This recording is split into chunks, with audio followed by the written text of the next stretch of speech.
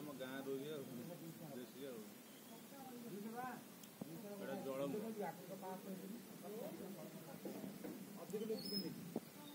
ଜଳ ଅଧିକ